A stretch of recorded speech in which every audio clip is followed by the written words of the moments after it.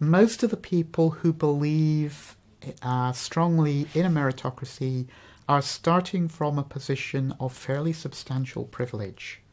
Uh, in particular, they are young, male, white, cisgendered, straight